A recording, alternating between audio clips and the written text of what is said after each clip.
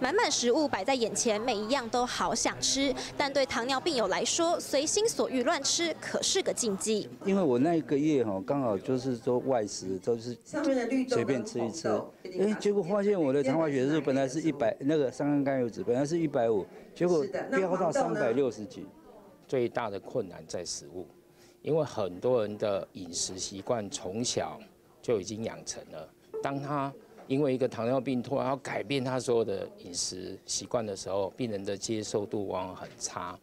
以为控糖就是不吃米饭，医师表示，曾经有病友血糖一直控制不佳，原因竟是早餐吃了十颗麻薯，经过调整改为只吃两颗，再搭配蔬菜与蛋白质，均衡摄取，身体状况也跟着改变。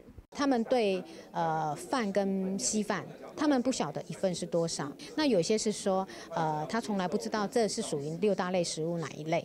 那病人就因为这个游戏跟呃这个活动，学习到六大类食物，还有一个饮食糖类分量的问题。我很谢先生帮我们抽一张命运牌。就是这款食物九宫格游戏，打开机会牌，让病友认识食物的基础概念，答对了就给一个筹码，增加比赛的刺激感。两位都答对，再给一千。而魏教师在一旁辅助回答，也让患者能了解最正确的控糖方式，成功改变饮食习惯。想兼顾血糖与美食，将不再困难。待新闻科信志台北报道。